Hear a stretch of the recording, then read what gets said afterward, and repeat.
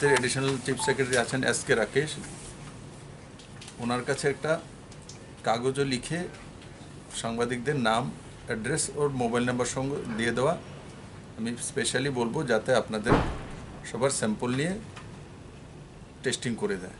কারণ আপনারা সব জায়গাতে যান, সব জায়গার জিবি হসপিটালে যাচ্ছেন আম্বাসাতেও যাচ্ছেন, মুখ্যমন্ত্রীর কাছেও আসছেন, সব জায়গায় আপনাদের সঙ্গে যোগাযোগ হয়। তার জন্য আপনারা সেফ থাকা সবচেয়ে জরুরি প্রয়োজন, তাই না?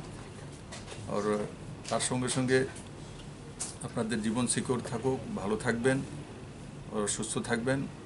ও রাজ্য সরকার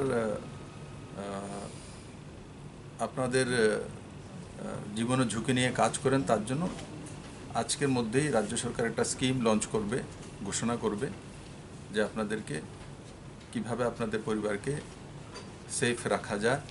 আর তাছাড়াও যারা এই রিস্কি কাজের মধ্যে যুক্ত আছেন। কেন্দ্র সরকার বাইশ হাজার হেলথ কর্মীদের তো ব্যবস্থা করেছেন, পঞ্চাশ লাখ টাকার ইন্স্যুরেন্স ঘোষণা করেছেন ও রাজ্য সরকারও সমস্ত ত্রিপুরাবাসীর জন্য চার লাখ টাকার যে নগদ অর্থ দেওয়ার ঘোষণা আগেই করেছে যেই কেউ হোক। কিন্তু সেটাকে আরও সুন্দরভাবে স্কিম করে কীভাবে করা যেতে পারে, এটাকে কীভাবে বাড়ানো যেতে পারে, তার বিষয়ে আজকে বা কালকে রাজ্য সরকার ঘোষণা করবে।